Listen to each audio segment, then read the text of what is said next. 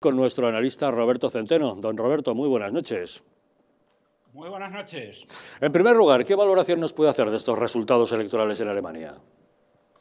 Bueno, vamos a ver. Eh, yo mm, creo que eh, eh, los medios están olvidándose del, más, del resultado más probable, o mejor dicho, se están olvidando de dos cosas que son muy trascendentes. La primera es que socialistas y conservadores eh, suman entre los dos un 50%, algo que descartaban todas las encuestas.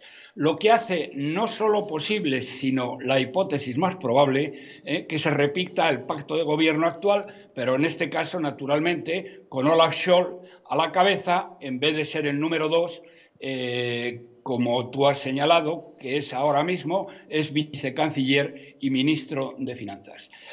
La segunda, que yo no lo he visto, supongo que se habrá dicho, pero yo no lo he visto por ninguna parte, es el tremendo descalabro que han sufrido los verdes, que han perdido nada más y nada menos que entre 8 y 9 puntos por dos razones, por su radicalización medioambiental, pero sobre todo por ser por su política de inmigración, que han estado y estaban proponiendo eh, el que decenas de miles de afganos eh, fueran acogidos en Alemania.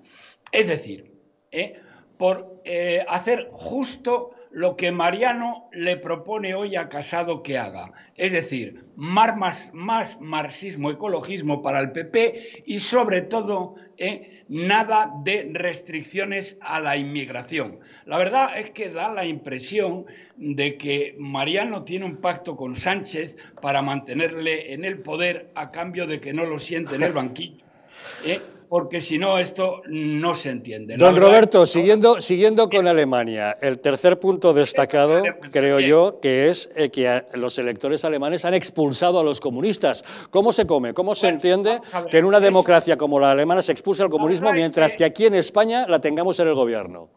Vamos a ver, primero hay que matizar. Los, la izquierda, esta izquierda alemana, no son los comunistas de aquí, ni más ni menos. No. Los comunistas de aquí son la EZ de la EZ eh, de la izquierda mundial. Eh, ellos no se denominan a sí mismos comunistas en absoluto.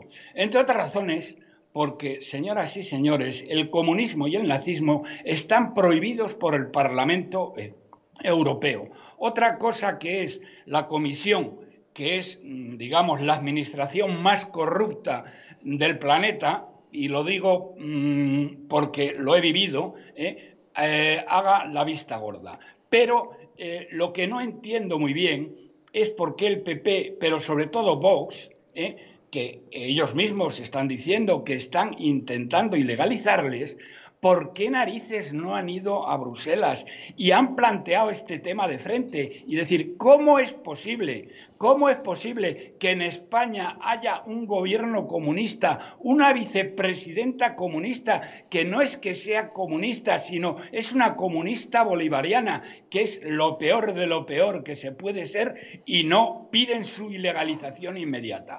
Verdaderamente esto no tiene eh, para mí el, menor sentido, pero la culpa, eh, insisto, es de Vox y del PP que se están dejando comer la sopa en plato. Y ahí, y ahí estamos, eh, con una ideología absolutamente trasnochada. Pero volvamos al tema de Alemania. ¿De qué manera puede afectar a la política económica de España el nuevo gobierno alemán?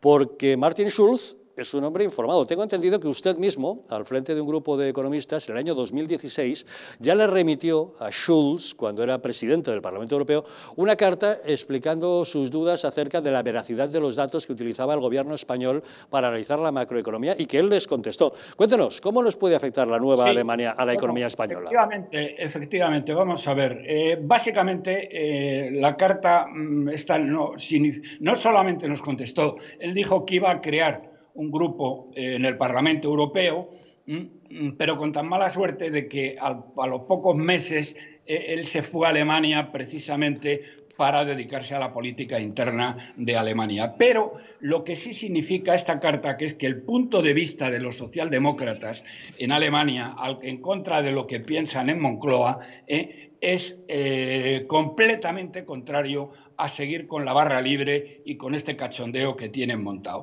Pero lo más importante, eh, fíjate, eh, mm, eh, no es lo de la carta. Lo más importante es que Olaf Scholz, mm, bueno, primero, mm, primero tengo que decir, desde mi punto de vista hay, hay un 70% de posibilidades de que se repita eh, el, gobierno, es decir, que sea un gobierno eh, con socialistas conservadores, pero esta vez mandando los socialistas, ¿eh? pero bueno, los otros tendrían sus ministerios y sus cosas, y un 30% que pacten con los verdes y con los, y con los liberales, que sería la peor opción para España. Pero aún así, esta ya es muy mala. ¿Por qué digo que es muy mala? porque Olaf Scholz, y esto sí es muy importante, tiene un odio a muerte, ¿eh? un odio a muerte, y subrayo lo de odio a muerte, ¿eh? con la corrupta eh, presidenta de la Comisión Europea, Ursula von der Leyen. Ursula von der Leyen era eh, probablemente la, responsable política más corrupta de Alemania, con toda una serie de problemas que tuvo en el Ministerio de Defensa.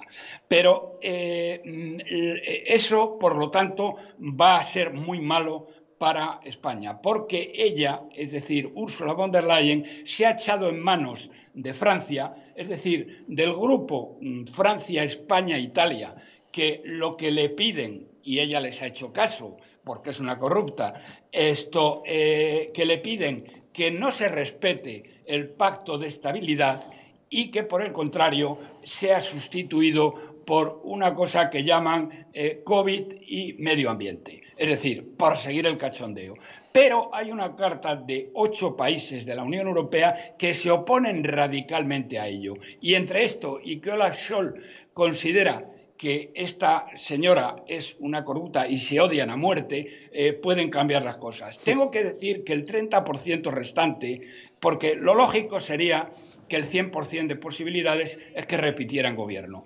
Pero mm, el problema es que a Olaf Scholz le han hecho una faena verdaderamente personal, verdaderamente terrorífica, los del CDU. ¿eh? Y es que eh, mm, él, como has dicho muy bien, era ministro de Finanzas y le mandaron, hace no muchas semanas, le mandaron a la policía, bueno, le mandaron a la UCO, para entendernos, ¿eh? por un tema muy serio de corrupción también en Alemania, en donde él no es que él se hubiera corrompido, pero que podía tener una responsabilidad política. Y le mandaron la policía al ministerio, que se lo volvieron del revés, ¿eh? en plenas elecciones, y tiene un cabreo como no te puedes imaginar. Pues no me extraña porque en estos momentos tiene todos los números para ser el nuevo canciller. Veremos si con esa gran coalición, efectivamente, pero dándole la vuelta al predominante, como usted comentaba, o si con algún otro tipo de acuerdo. Estaremos muy pendientes de lo que ocurra en Alemania, puesto que lo que pasa en Alemania marca Europa e influye mucho también en España. Don Roberto Centeno, muchas gracias por acompañarnos en Los Intocables. Gracias a vosotros. Un saludo.